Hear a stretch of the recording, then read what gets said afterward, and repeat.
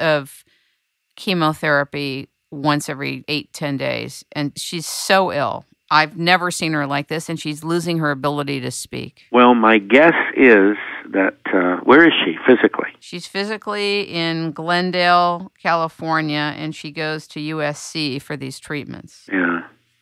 If if they realized that there was another avenue to help what they were doing, and my guess is that they're probably using a more of a pinpoint type of, uh, of radiation than than than uh, uh, than a massive uh, form of radiation. That's just my guess, because they're pretty sophisticated in what they do. But uh, you know, she could call uh, she could call someone like uh, Oasis of Hope, which uh, we work with a lot, and they use hyperbarics. Oasis of Hope uh, cancer program uses hyperbarics for uh, this particular purpose. I'll have her do that. Yeah, Oh, she could call. Uh, I, I I- she could call my number. Um, call me and get it. I I can give her the number. I don't have it with me right now. I'd give it to you. Thank you. So the FDA has really approved this and has supported hyperbaric treatments. Is that because of the way you've stewarded and David Hughes and Richard Neubauer have stewarded this treatment? Actually, it's a result of the fact that it indisputably works with things that have been used over the years before we got so crazy with regulation. And also, what we've done, we've done an awful lot to promote research and to help people do the things that they need to do to learn.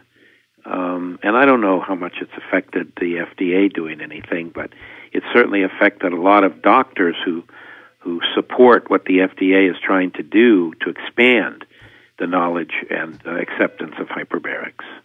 What's your greatest challenge today, if any? Well, there's always great challenges. Uh, m- my personal challenge is to reduce the cost of hyperbaric therapy to the point where it can be utilized by people who have no way of doing it right now.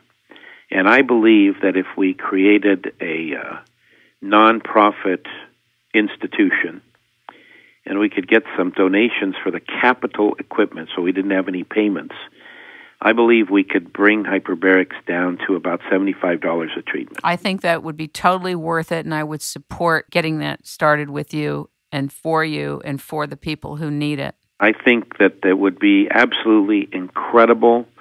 It would change people's lives, and it would be the next step of changing the face of medicine um, in our uh, in our country because we're we're too money driven. I think we're spending two and a half trillion dollars now on on medical causes in the United States. That's a lot of money. It's a lot of money. It's a lot of suffering, too, and it's a lot of experimentation. Absolutely. Yeah. So that's my that would be my dream. Um, I'd love to do that. I've not found too many people who have had that uh, that desire to get involved in it. Though it's not it's not easy. You know, a lot of people would get involved in anything if there's a lot of money to be made. But if there's a lot of money to be made, then somebody's paying that money, and it's the patients. And in this case, you know, we're we're stealing people's lives away by not allowing them treatment. I've had a very pr- pretty aggressive charity program for years that I've done, and temporarily I had to suspend it because of the economy. We haven't had the means to continue doing it, but we treated a lot of people over the last 12 years. We saved a lot of lives. We saved a lot of arms and legs and hands. It's quite amazing, and I thank God for that every day. I mean, I just the fact that we could do that was a gift. This is really needed. I'm so excited that you have a dream to make this available and affordable. And I think it is going to take some type of a nonprofit to do it. Well, if we can take the profit motive out of it, and we can we can uh, get the equipment somehow, we can get raise money to get the equipment. We eliminate a big payment because for uh, for say for example a UCLA, UCLA probably has a couple million dollars invested in their chamber. That's huge money to pay every month on the loan or the lease or however they're doing it, along with interest and everything. And just to have a small clinic with four or five chambers in it would probably cost six or seven hundred thousand dollars, if not more. and the payments on that would be phenomenal. If you can eliminate those two things, you can bring the cost down substantially.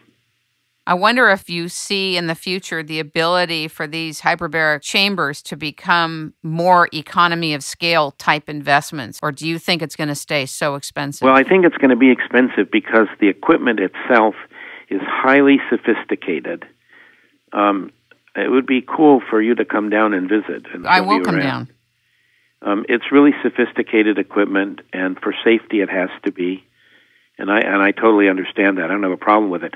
But something I do have a problem with, if if I'm to buy a chamber here, I can go get a chamber uh, and pay say one hundred and fifty thousand dollars for it without with without hesitation, one hundred fifty thousand plus another thirty thousand for backup. You know, a, a room with compressors and air cleaners and air dryers and blowers and gas testers and oxygen supply and all that.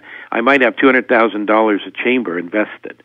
That's a lot of money. Right. I can go to China or Russia, and I can buy a chamber built to the exact same specifications, and in some cases, better specifications for thirty to thirty-five thousand dollars.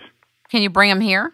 Theoretically, no. It's very interesting. I've known some people who ship them to Canada and bring them over on a truck, but I don't think that's kosher. I, I tried years ago to to do it, and uh, you know, was I was told no, and I don't want to be involved in any kind of shenanigans. You know. I understand. I understand.